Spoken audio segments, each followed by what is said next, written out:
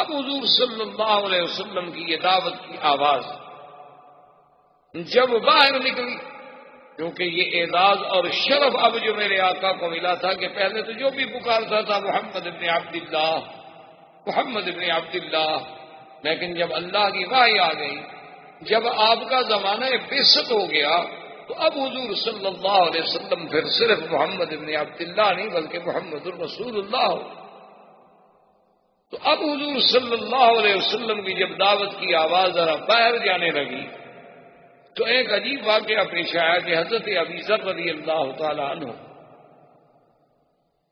یہ ابھی ذر رضی اللہ تعالیٰ عنہ جو ہیں، یہ بھی حضور کے بڑے شان والے صحابہ ہیں اور یہ ان صحابہ میں ہیں جو زہاد تھے، جو بڑے زاہد تھے، بڑے عابد تھے۔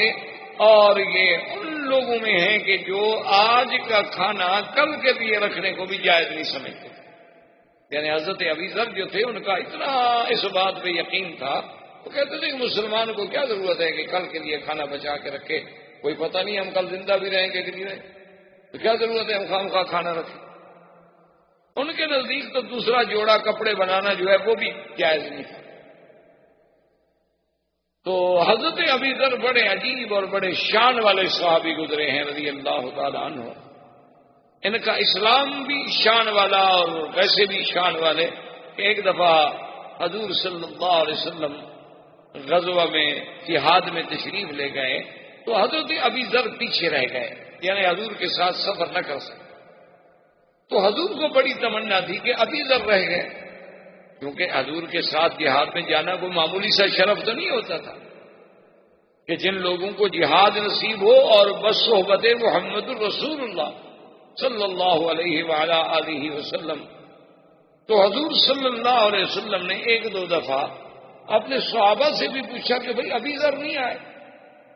تو اب صحابہ کہیں کہ حضور وہ تو نہیں آئے۔ پھر حضور نے کچھ وقفے کے بعد پوچھا کہ اچھا ابھی تک نہیں آئے؟ تو صحابہ نے کہا کہ حضور تو رہ گئے، خدا جانے کیا وجہ ہے، وہ تو سفر نہیں کر سکے اس دفعہ۔ تو پڑاؤ کر کے آپ کا قافلہ بیٹھا ہوا تھا۔ صحابہ آپ کے ارد گرد بیٹھے ہوئے تھے۔ دور سے غبار اڑتی ہوئی نظر آئی۔ جیسے کہ کوئی ایک سوار آ رہا ہو۔ تو حضور نے جب نظر ڈالی، دور تھے، ابھی کچھ نظر نہیں آ رہا تھا، صرف غبار اڑتی ہوئی نظر آ رہی تھی۔ تو آپ نے فرمایا، کن ابا ذر؟ کہ خدا کرے تو ابو ذر ہو۔ یعنی آنے والا جو ہے خدا کرے تو ابھی ذر ہو۔ تھوڑی دیر گزری تو کیا ابھی ذر، حضرت ابھی ذر حاضر ہو۔ حضور نے فرمایا کہ ابھی ذر تم عجیب آدمی ہو، قافلہ چلا آیا اور تم اکیلے رہ گئے۔ تو ابا ذر کو آپ نے فرمایا کہ تحیا وحدہ، تعیش وحدہ و تموت وحدہ۔ کہ ابو ذر اچھا تمہاری زندگی عجیب ہے۔ کہ اب تو معلوم یہ ہوتا ہے کہ تم زندہ بھی علیحدہ رہو گے، زندگی بھی علیحدہ گزارو گے اور موت بھی تمہیں علیحدگی میں آئے گی۔ حضور صلی اللہ علیہ وسلم کی زبان مبارک سے لفظ نکل گئے۔ اب اللہ کے نبی کی زبان سے جو بات نکلے تو اللہ تو اس کو پورا فرما ہی دیتے ہیں۔ تو خدا کی شان یہ ہے کہ ابو ذر رضی اللہ تعالیٰ عنہ اپنے زہد کی وجہ سے سب سے الگ الگ تھلگ ہوتے تھے۔ حتیٰ کہ حضرت عثمان کے زمانے میں حضرت عثمان نے آپ کی آگے منت کی۔ انہوں نے کہا، حضرت ابھی ذر، آپ ناراض نہ ہوں، آپ کا مدینے میں رہنا بڑا مشکل ہو گیا۔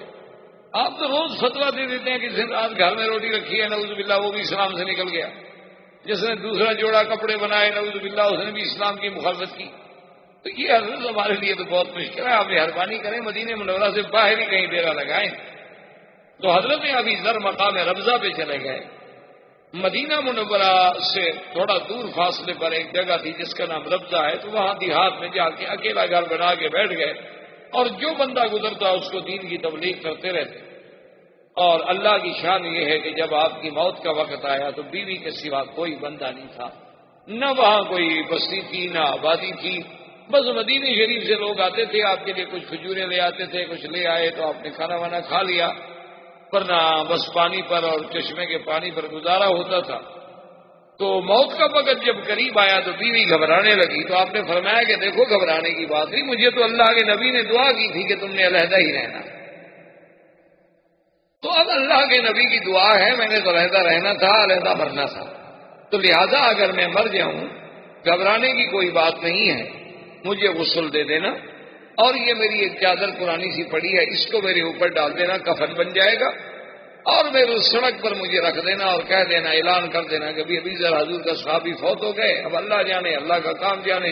اللہ چاہیں گے تو کوئی جنازے پڑھنے والا بھیج دیں گے، نہیں تو کوئی جنگل کے جانور آ کے کھا جائیں گے۔ جب حضور نے فرمایا کہ تم نے علیحدہ مرنا ہے، تو ہم نے مرنا تو علیحدہ۔ تو آپ کی دوجہ محترمہ نے، آپ کی وسیعت کے مطابق آپ کی موت کے بعد آپ کو غسل دیا، کفن دیا، اعلان کیا کہ ماتا ابھی ضرور صاحب رسول اللہ صلی اللہ علیہ وسلم کہ آج حضور کا وہ ساتھی، حضور صلی اللہ علیہ وسلم کا دیوانہ و پروانہ ابھی ذر فوت ہو گیا ہے۔ یا اللہ تو جانتا ہے میں اکیلی عورت ہوں، میں کیا کر سکتا؟ بہار کب اصحاب رسول اللہ۔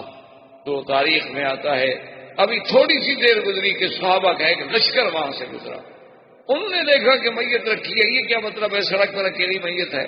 فلما سالو وجدو ابا ذر۔ جب انہوں نے تحقیق کی تو ابھی ذر کا جنازہ ملا۔ تو بڑے خوش ہوئے۔ جنازہ پڑھا اور وہیں ابھی ذر رضی اللہ تعالیٰ عنہ کو دفن کیا۔ تو یہ ابھی ذر کی زندگی بڑی عجیب عجیب و غریب زندگی۔ تو ابھی ذر کہتے ہیں کہ مجھے اطلاع ملی کہ ایک نبی پیدا ہوئے ہیں جس کا نام محمد الرسول اللہ صلی اللہ علیہ وسلم۔ ان کے بھائی تھے، ان کو انیس کہتے تھے۔ انس کی تصویر ہے انیس۔ حضرت عبید رضی اللہ تعالیٰ عنہ کے بھائی جو تھے، یہ بہت بڑے شاعر چونکہ اس دور میں اصل بات یہ ہے کہ یاد رکھیں کہ اس زمانے میں فساحت و بلاغت تو اربوں کی گھٹی میں پڑی۔ یعنی ایک عام آدمی، ایک جنگل میں رہنے والا آرابی جس نے کبھی ابتدائی جماعت تک نہیں پڑھی، جس نے کبھی الف بات آ نہیں پڑھا۔ لیکن وہ فکر بدی یا بشار کہتا تھا، دنیا حیران ہو جائے اللہ نے ان کو اتنا زبان دی تھی، اتنا ملکہ دیا تھا، اتنا یعنی ان کو عبور تھا اپنے کلام پر اور اپنی فصاحت و بلاغت پر کہ دنیا عرب کی فصاحت و بلاغت کو دیکھ کے دنگ رہ جاتی تھی۔ اسی لیے علماء نے لکھا ہے کہ اللہ تبارک و تعالیٰ نے ہر پیغمبر کو جو موجودے دیے ہیں، وہ اس کے زمانے کے حالات کے مطابق دیے ہیں۔ کہ کیونکہ یہ فساد و بلاغت کا دور اس زمانے میں اتنی فساد و بلاغت تھی کہ جب عرب بات کرتے تھے تو حیرت ہوتی تھی ان کی بات سے۔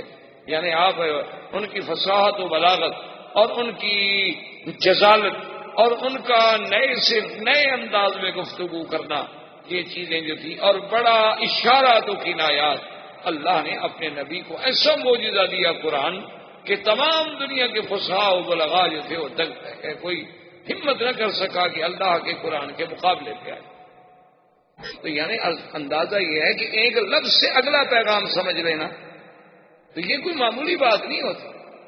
یہ فصاحت و بلاغت جو ہے، یہ بھی اللہ کی ایک دین ہے۔ ہر کسی کو نہیں ملتی۔ آپ کے ہاں بھی آپ کی تاریخ ہند میں بھی بڑا ایک مشہور واقعہ گزرا ہے نا جی۔ کہ شہنشاہ ایران اس زمانے میں جب وہ آج سے یعنی صدیوں پہلے، تو اس کے بیٹھے ہوئے ایک شاعر نے یا کہتی ہیں کہ شہنشاہ ایران نے خود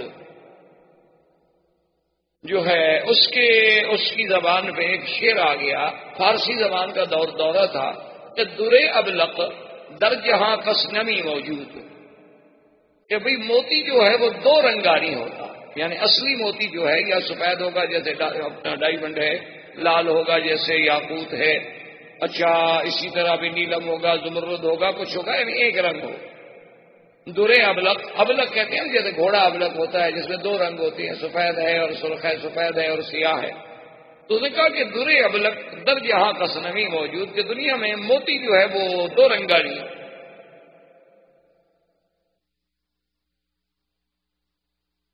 اچھا یہ پہلا مصرا تو شاعر کا ہے بیٹھا یا بادشاہ کا ہے بیٹھا، اب دوسرا مصرا نہ بنے۔